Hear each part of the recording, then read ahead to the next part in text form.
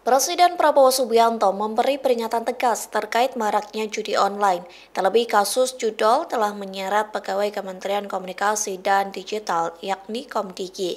Rupanya Prabowo memberi peringatan tegas kepada Kementerian Koordinator Bidang Politik dan Keamanan Kemenko Polkam, Kejaksaan Agung atau Kejagung hingga Polri.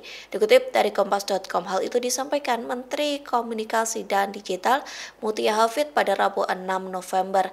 Ia mengatakan Presiden kerap kali membahas terkait kasus judi online.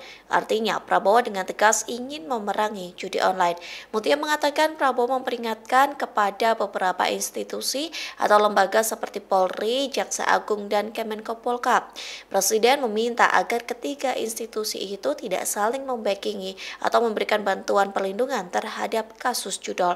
Hal senada disampaikan Kepala Kantor Komunikasi Kepresidenan Hasan Nasbi yang mengatakan Prabowo menekankan kepada kepada jajarannya agar tidak main-main dalam mengatasi empat persoalan penting di Indonesia, adapun di antaranya judi online, narkoba, penyelundupan, dan korupsi.